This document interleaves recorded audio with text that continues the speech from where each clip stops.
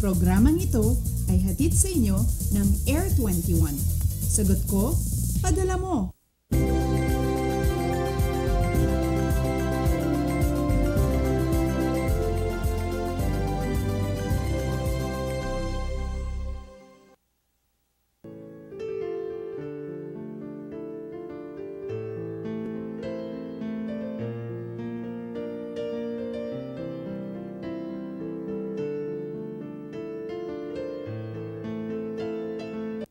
Mayad nga temprano Luzon, maayong aga Visayas, Buenos Dias, Mindanao. Ngayong araw po ay Miyerkules, July 6, 2016. Samahan niyo po kaming alamin ang mga pinakabago hinggil sa panahon, kapaligiran at kahandaan. Ito po ang Panahon TV na mula lunes hanggang linggo, Una maghahatid sa inyo ng lagay ng panahon. Sa bayan din po kaming napapanood online. Yan po ay sa pamamagitan nitong www.ptv.ph. Ako po ang muli ninyong makakasama at maghahatid ng mga dapat ninyong malaman sa lagay ng panahon. Ako po si Desiree Zonyo. Bago po ang lahat, Eid Mubarak sa ating mga kapatid na Muslim na ngayon ay nagdiriwang ng Idul Fitir. Ito po ay hudyat ng pagtatapos ng isang buwang Ramadan o pag-aayuno at kanilang pagninilay. Kaugnay nga po niyan idineklara ni President Rodrigo Duterte bilang regular holiday sa buong bansa itong araw ng Miyerkules, July 6, 2016. Batay sa nasabing kautusan, ito po'y para mabigyan ng pagkakataon ang lahat na makiisa sa kahalagahan ng nasabing selebrasyon ng mga mananampalatayang Muslim. At kaugnay nga po niyan, ilang mga bahagi naman na nga partikular po yan ang nagdeklara ng number coding. So ito po ay kaugnay nitong uh, Edil Fitir na ipinagdiriwang nga ngayong araw. Batay po yan sa abiso nitong Makati Traffic Office. At dahil nga walang pasok sa mga opisina at paaralan ngayong araw, I'm sure marami sa inyo ang may lakad kasama ang pamilya o mga kaibigan. Kaya naman simulan na natin ang ating ulat panahon. Kaugnay nga po niyan lumakas pa habang nasa loob nitong Philippine Area of Responsibility itong ating binabantayang bagyo. Mula sa pagiging low pressure area nitong weekend, matatandaan natin na naging ganap itong tropical depression, tropical storm, severe tropical storm at kahapon nga naging ganap itong typhoon bago pumasok alas dos ng hapon nitong araw ng Martes at pinangalanan natin yan na Butchoy. Ito po yung ikalawang bagyo para sa ngayong 2016. At kanina nga nga bahaging alas 3 ng umaga umaga na mataan ang nasabing bagyo. Yan po ay sa may layong 1,000 kilometers. Silangan po yan ng Tuguegarao, Cagayan. Taglay po nito ang hanging umaabot sa 160 kilometers per hour, pagbugsong 195 kilometers per hour at patuloy na kumikilos.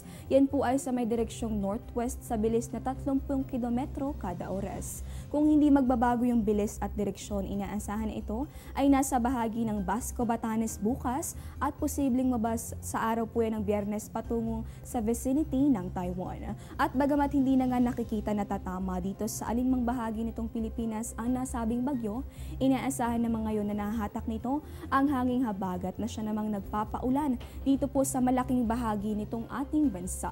At kaugnay nga po niyan inaasahan natin ngayong araw itong patuloy na pag-iral ng habagat dito po yan sa may bahagi nitong Southern Luzon pati na rin dito sa may Visayas. Kahapon nagdulot po ito ng mga may hina hanggang sa katamtamang pag-ulan dito yan sa may bahagi nitong Visayas. Gayon din dito sa may Bicol region hanggang dito sa mga probinsya nitong uh, Mindoro. Gayon din dito sa may bahagi ng Marinduque, Romblon at sa Palawan. Same weather condition yung ininda ng ating mga kababayan dito po sa may bahagi nitong Caraga at pati na rin sa may Davao region. Ito naman sa atin sa Metro Manila at sa nalalabing bahagi nitong ating bansa, naranasan natin yung bahagya hanggang sa maulap na panahon. May kasama po yan na mga pulupulong pag-ulan o pagkidlat at pagkulog. At sa punto pong ito, astronomical data naman tayo sa mga maagang gumising para mag-stroll sa UP o kaya naman sa Rojas Boulevard o sa Circle. Pwede nyo pong abangan ng sunrise over Metro Manila. Yan po ay mamayang 5.32 ng umaga at ang ating namang sunset, pagtungtong po yan ng 6.30 ng gabi. At ito ang ating namang moonrise, yan po ay 7.03 a.m. at ang moonset naman pagpatak ng 8.03 p.m. At eto, alam niyo bang waxing crescent moon ang ating kasalukuyang lunar phase? Sa ganitong phase, kalahati ng buwan itong nakatatanggap ng liwanag mula sa araw.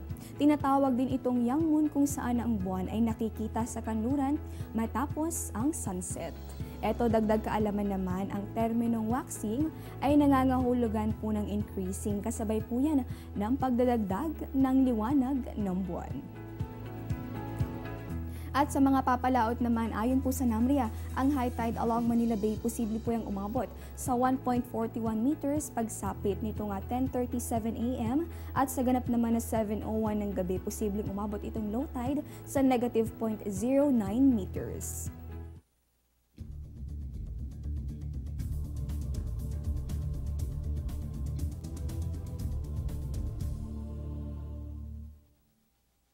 Misyon ng Juno spacecraft sa Jupiter umrangkada na. Sa mga nag-aabang sa update sa ating balita kahapon, matagumpay pong nakapagdala ng signal. Itong nasabing spacecraft patungo yan sa National Aeronautics and Space Administration ng Amerika na hudyat naman ng pag-uumpisa ng tinatawag na space probe nito.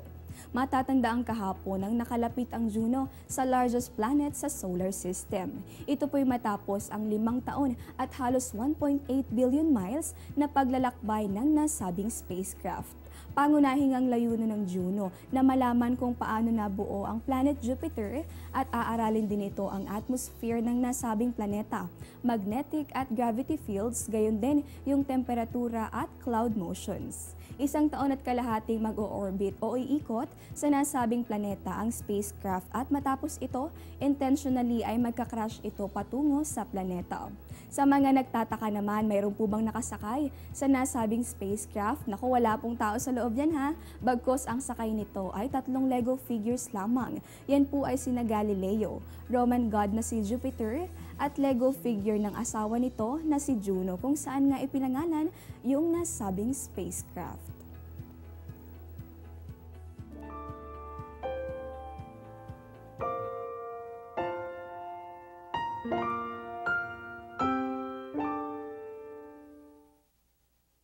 Sa ibang balita naman, umakyat pa sa mahigit dalawandaan ang nasawi sa bombing attack na inako ng terrorist group na ISIS sa Iraq.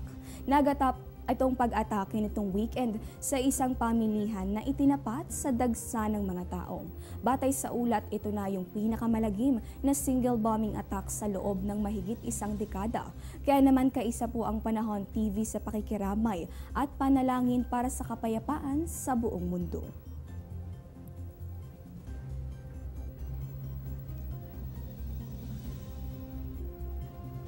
Simula pa lamang po yan, magbabalik pa po kami matapos ang isang paalala.